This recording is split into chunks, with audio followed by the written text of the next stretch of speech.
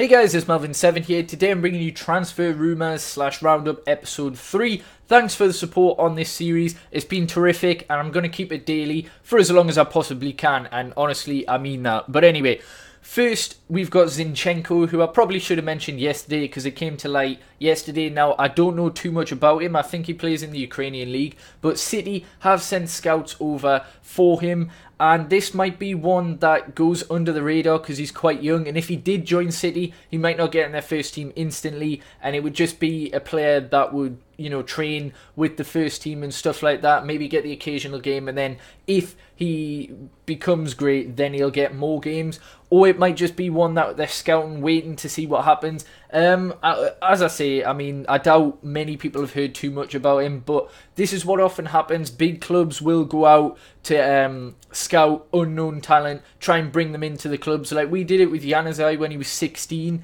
We brought him into the club, and then no one heard of him until two, three years um, when he'd been playing with the club, and then he came through the under 21. So we'll see what happens with it. Next one, we've got Bonucci, who is linked to Manchester United, Manchester City, and Chelsea. He's been linked to Chelsea for quite some time, but apparently Man United and Man City are interested. Now, this is a centre back that all three clubs should be interested in. He is absolutely terrific, but I just can't see it happening for any of these clubs. I don't think Juventus will sell. I don't think he wants to leave. I reckon he'll be Juventus's future captain when Buffon retires because Buffon's roughly the same age as Chiellini, I think. So Bonucci's 28, 29. He's, an experienced centre back, but as soon as Buffon eventually retires, uh, Buffon might be a lot older than 34, come to think of it. I'm not entirely sure, but when he does, I reckon Bonucci's going to be the captain of Juve. So I just can't see it happening.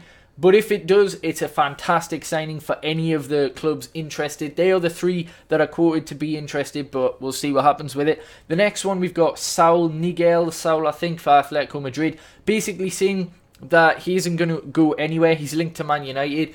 Uh, again, he's a relatively young centre mid. He played well in the final against Real Madrid, but it, it it's just one of those that probably if if he does move, it won't be done till after the Euros anyway. Even though I don't think he is in the Euro squad, so it could be done during it. But it's just usual stuff where players or clubs or agents come out and deny it until something solid happens. There's a solid bid accepted, and then they go along with it. So we'll see what happens. This might just be a player that we're targeted to that we're not really 100% interested in, or he's he's in our, our list of targets, but we've got targets that are higher up the order. We'll we'll see what happens, but we are linked to him. But they've um, Atletico and Saul himself has kind of di- uh, pushed the rumours down a bit. So we'll see what happens. Next one is uh, someone who's done the complete opposite and is basically praying for a move, and that's uh, Moussa Sissoko, uh, Newcastle's, who wants to go to Arsenal. He's not happy with getting relegated. He's wanted to go to Arsenal for two, three years now, and generally, do Arsenal really want him? Like, he seems pretty inconsistent. I mean, I think this would be a terrible buy for Arsenal personally. I think they've got a lot of players similar to him. Uh, he is very lazy a lot of the time. So I think it's just the player wishing for a move to Arsenal. He did say he wants to play for them, but then he also said that he wants to play in the Premier League. He says the Championship is below him, which fair enough, I suppose. That's not going to sit well with Newcastle fans, but I'm pretty sure a lot of players that do get relegated want to try and maintain in the Premier League, even if their club does go down. So we'll see what happens with this one, but I just can't see it happening. Like I'd be, I'd be shocked if Wenger actually made a bid, but stranger things have happened, I suppose. The next one we've got Hector Bellerin, uh, rumored to Barcelona or PSG. Both are interested now. Um, Arsenal are going to do whatever they can to keep this guy. He was fantastic last season, and uh, he, he truly burst into the scene properly last season and was consistent, terrific for the entire year. So they're going to do everything to keep him. I think they'll keep him this season, but eventually, I think the pull of Barcelona, especially after losing Dani Alves, I don't think it'll happen this year, but I reckon next year or the year after, I think Bellerin's destined to go to um, to Barcelona. That's where he was originally from. I think it's just a little bit too much of a pull for Spanish players to return back to either Barcelona or Real Madrid. But this season, I think they should be able to keep him. Um, and then, well, I'm I'm sure that delight Arsenal fans. I doubt he go to PSG. I mean, they are linked, and I suppose they've got the money, but just doesn't seem like a right move. So I reckon he will leave, but not this season. And I reckon Arsenal can keep him, but see what happens. The next one we've got, I've wrote it down here, is Townsend. And again, another Newcastle player. We're going to be seeing a lot of these uh, for Villa, Newcastle, and Norwich, I think. Mainly Newcastle, however, and Villa, I would suppose, because they've been in the Premier League for a number of years. Um, but yeah, Townsend's linked to Crystal Palace. I'm sure that'll go down very well uh, on Tyneside because of Pardew, the Pardew effect. But apparently, he's got an 8 million release clause, relegation release clause. That means a Premier League club can come and take him for 8 million.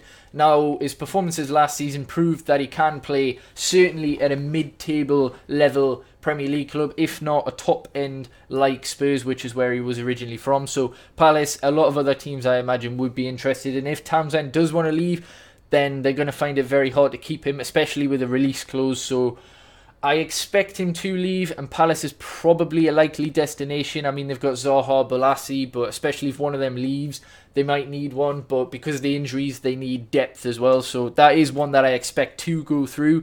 Another one, Hector Herrera to Liverpool. Um, Porto's, I think he's Mexican. Correct me if I'm wrong. I think so. If not, I apologise. But um, he's a centre mid for Porto.